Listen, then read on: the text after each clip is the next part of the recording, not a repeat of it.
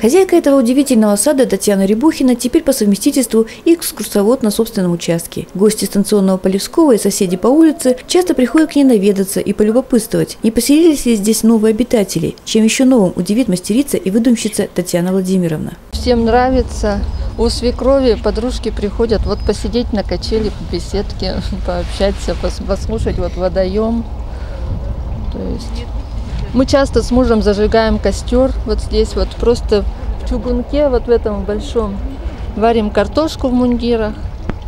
То есть очень часто с ребятишками сидим и летом практически ну раз-два в неделю собираемся. Первыми здесь появились клумбы пирамиды. Затем свои места обитания облюбовали зайцы и утки. На крыше беседки свили гнездо аисты. А хитроумный паучок сплел сети для незатейливой мухи. Все эти изделия сделаны из пенопласта. Татьяна Владимировна говорит, материал легкий в обращении, но сорный. Однако результат оправдывает все творческие муки. В процессе вот этого вот ну, творческой какой-то работы я отдыхаю.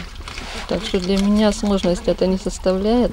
Гостеприимная хозяйка любит, чтобы гости посидели у небольшого, но уютного фонтана, угостились вкусными плодами из ее сада. Здесь все радует глаз и доставляет радость. Каждая деталь продумана и сделана с любовью. Вот фонарики в прошлом году купили в магазине Аби. Они днем на солнышке, на солнечных батареях Э, энергии заряжаются и ночью, когда, ну не ночью, вечером после 10 часов, вот нынче, они уже все светятся. Там фонарики у нас есть. Вот тут. В планах у хозяйки обустроить место под мангал и костровище. Все, что делает Татьяна Рябухина, общая тенденция для многих садоводов. Теперь земля идет не только для пропитания и поддержания семейного бюджета. Сейчас люди стали понимать, что она приносит еще красоту и радость. Эльмира Самухина, Алексей Ионов из станционного Полескова для новостей нашего города.